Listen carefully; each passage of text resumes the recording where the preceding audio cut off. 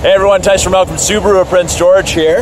This is our 2018 Subaru Impreza hatchback convenience. So this is an entry-level Impreza. Great looking car. That magnetite gray is phenomenal. In the back, lots of room to fit stuff in. Very practical, wide opening, as all hatchbacks are. Need more room. The seats do go virtually flat. If that seat wasn't reclined as far, it would, I promise.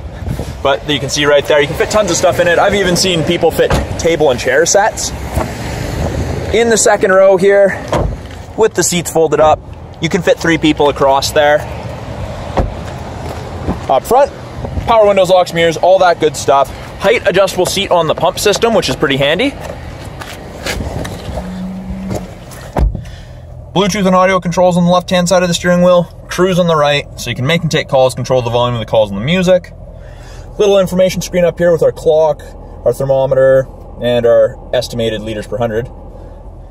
AM, FM, USB auxiliary radio. The USB and auxiliary are in the center console there. Little place to run your cords out so you don't crush them.